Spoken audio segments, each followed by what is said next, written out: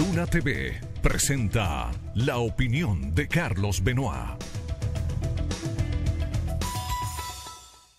El problema del desarme es un problema planteado en el actual gobierno de nuestro país, la República Dominicana, en cierto modo de forma realista y también muy, muy responsablemente. El asunto es que las soluciones no son tan simples como solamente decir vamos a desarmar a la población, procurando con esto bajar los índices de criminalidad.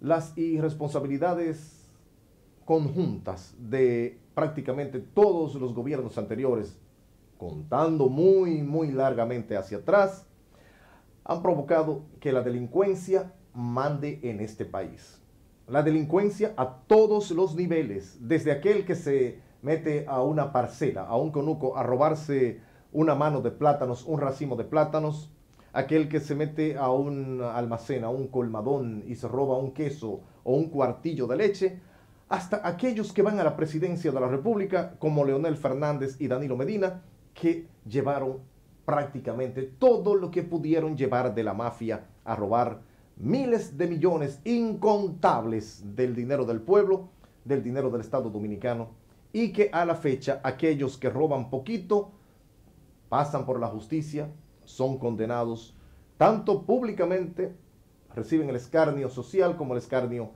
del imperio de la ley, lo cual es correcto. Nosotros consideramos que desde que eh, aquel que se roba un plátano hasta el que se roba Punta Catalina, para citar un ejemplo casi en forma eh, figurada, todos deben ir a la justicia. Robar es robar sin importar la cantidad ni quién sea. Pero todos esos problemas sociales, todos estos problemas económicos que en República Dominicana por la corrupción y la injusticia han llevado a los dominicanos a pasar hambre, a tener en cierto modo desesperanza, a no tener ninguna esperanza de llegar a poder tener una, una vivienda digna, a tener un trabajo digno, un vehículo, facilidades, salud garantizada, alimentación garantizada todo esto es lo que lleva a la delincuencia, los errores cometidos a nivel del sistema de educación de nuestro país. Los muchachos están creciendo sin educación y eso es a propósito para que no piensen y poder manejarlos por medio de la delincuencia, del narcotráfico o de los subsidios sociales. Creemos que hay que desarmar la República Dominicana, pero desde el punto de vista de la ilegalidad. Todo aquel que tenga armas para defenderse, que no sea un delincuente, tiene que buscar la forma de pagar los impuestos. Tienen que bajarse los impuestos, como con impuestos insalvables, como con armas de fuego, con precios insalvables. La ciudadanía va a querer o va a tener la posibilidad de formalizar el porte o la tenencia de un arma hay que fomentar la importación de armas de bajo costo. En Argentina, para que tengan una idea, tenían la misma problemática hace algunas décadas. ¿Qué hicieron? Una ley que permite que cada ciudadano pueda tener un revólver o pistola de solo dos tiros de bajo calibre, pero que no puede sacarla de la casa, solamente dentro de su casa para poder eh, defenderse ante cualquier incursión de la delincuencia.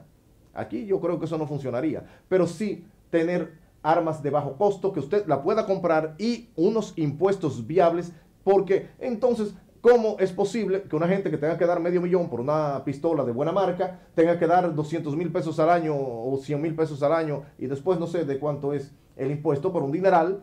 Entonces la gente del pueblo no se va a poder defender nunca y la delincuencia va a seguir multiplicándose va a seguir multiplicándose. Entonces hemos visto como sumamente positiva y que debería incluso buscarse una reunión con el aspirante presidencial eh, del Partido de la Liberación Dominicana, Abel Martínez, el actual eh, alcalde de la ciudad de Santiago de los Caballeros, de aquí del municipio de Santiago. Él está diciendo, claro, ¿cómo no va a apoyar el desarme de la ilegalidad? Pero debe comenzar desarmando eh, el Estado Dominicano, debe comenzar desarmando a la delincuencia, no a aquellos que tienen armas posiblemente con permisos, con eh, permisos emitidos por el Ministerio de Interior y Policía, que si bien es cierto, están retrasados en los pagos en medio de un estado de emergencia como el nuestro, nosotros, ya eso no lo dijo el licenciado Abel Martínez, pero lo digo yo, hay que buscarles facilidades, porque entonces lo que se estaría fomentando, todo aquel que tenga un arma ilegal, un delincuente la va a vender, va a recibir un dineral y va a buscar otra arma ilegal.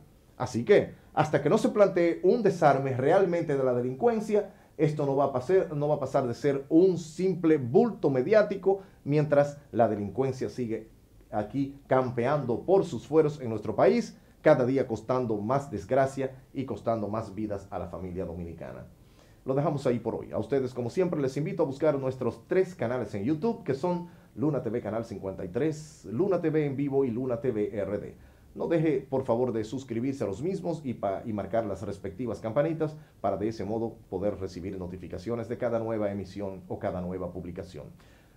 Les invito, como siempre, también a buscar nuestra página web. A través de la misma, en la dirección www.lunatv.do se emite en HD toda nuestra programación de 24 horas. Desde aquí, como siempre, mi deseo es que Dios les acompañe donde quiera que estén y a donde vayan. Amigos y amigas, hasta siempre. Luna TV presentó la opinión de Carlos Benoit. Hasta la próxima.